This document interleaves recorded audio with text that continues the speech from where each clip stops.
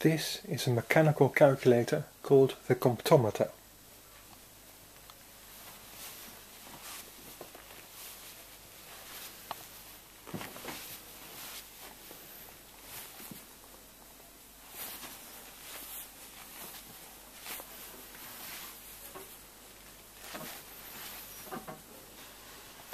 It was made by Felt and Tarrant.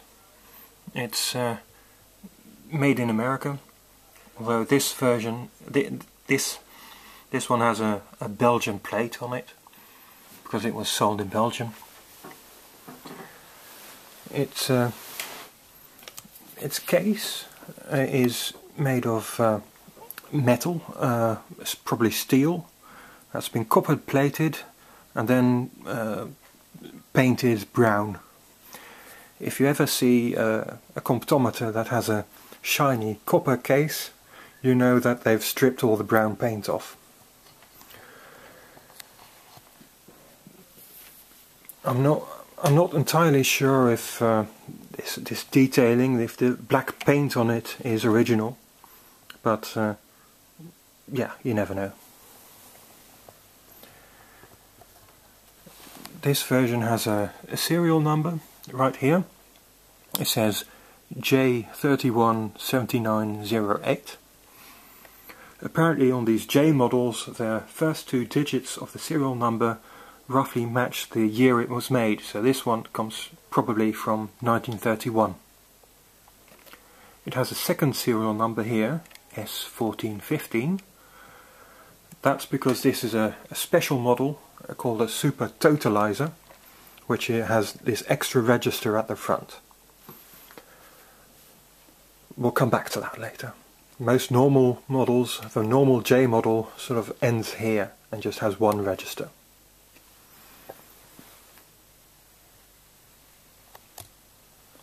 Here you have these uh, columns of buttons. This one has 12 columns. The most common versions have 8 columns, there are versions with 10, but this one has 12. Apparently uh, there were some special orders as well for versions with even more columns, but 8, 10 and 12 are fairly standard versions of the comptometer. Here you see the register, it's currently all zero and all you have to do is just type a number, say 1, 2, three, four, and it gets added to here. So if I add 333, it, it adds it immediately. You'll notice as well that it, it, will carry over, so if I add another 3, the next digit up increases, as it should. And if you're, if you're finished, you can then pull this lever towards you and the numbers are zeroed. Older versions of the comptometer had a, a larger lever that which you had to push back and pull forward.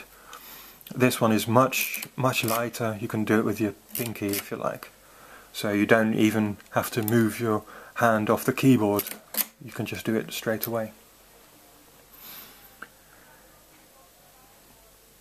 A nice feature is that once it's been zeroed, you'll notice that all the zeros are slightly out of alignment, slightly lower than they should be.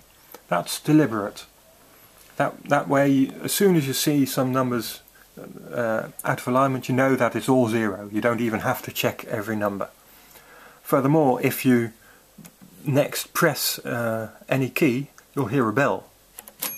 And also, that key press is heavier, it feels heavier than it would otherwise.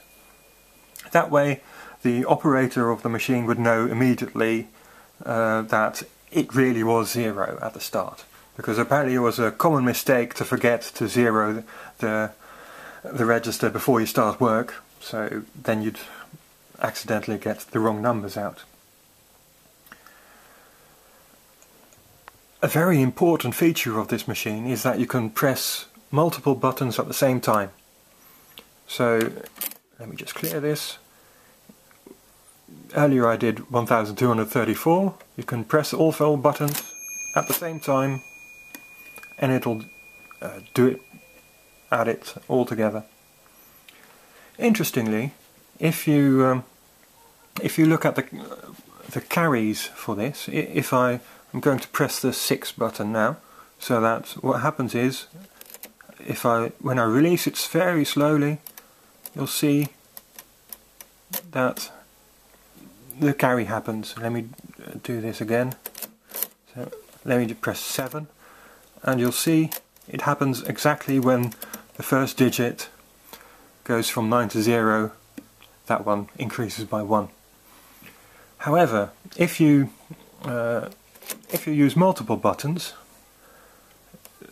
you might have uh, press press a button in both these columns, and if I now release the the first column, you'll see that the carry doesn't happen because it's it's being delayed until I release this one. That way you can be sure that the carry will happen and it's not getting lost by the changes caused by the other keys. Let me just do, do something quite fun. Let me just press all the nines. So now I have 999999. And if I now add the 1, you see the carry happens automatically all the way to the top. Another very interesting feature of this machine is the uh, error detection. There's a little red button at the back and what that I'll show you what that does. If if you accidentally uh, if you press a button but don't press it far enough before you release it you'll see that it doesn't actually register. But it, if you're pressing a lot of buttons at the same time you might have yeah made a mistake and yeah, that would be a disaster if, if that happens. You'll get the wrong result. So internally there's a mechanism that uh, recognizes when that's happened and now all the other columns are locked. They don't, they don't work. None of the buttons uh, push down. Only the, the, the one column that you haven't completed properly is, is available. So if you now actually push the button properly you can now still register the correct digit there and to un to unlock these extra um, yeah these other columns you just press this and now it works is back to normal so all these columns now work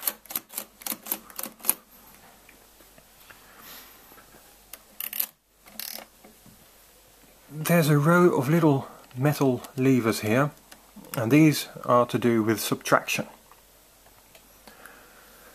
subtraction is a bit awkward on on these machines.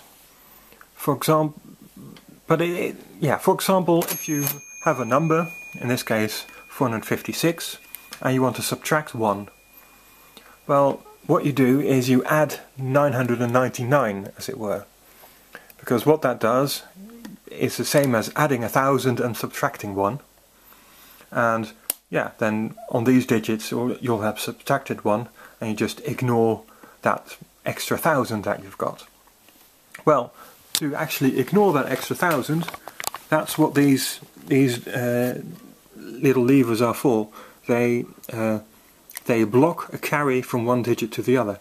So if in this situation I hold down this lever and add 999, you'll get 455, and this one hasn't hasn't carried over.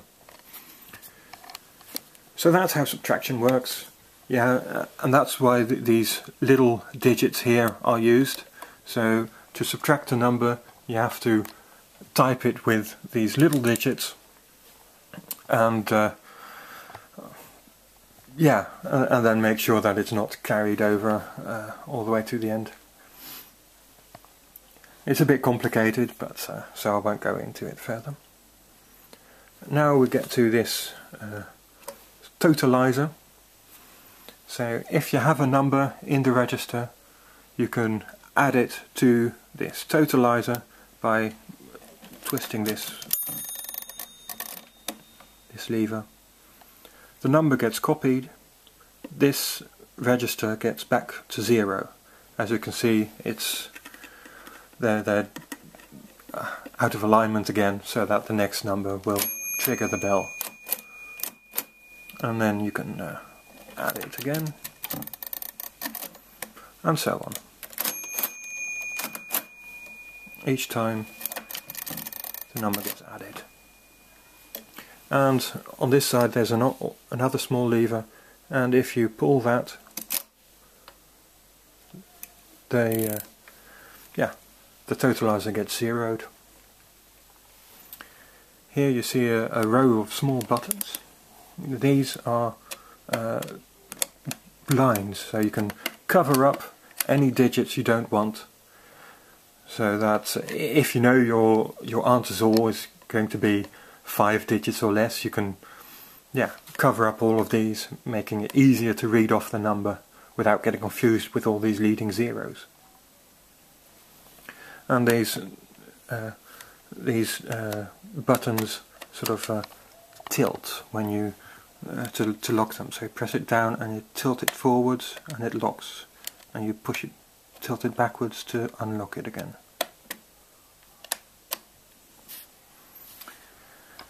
There you go. That was the comptometer, the super totalizer uh, model. Thank you very much.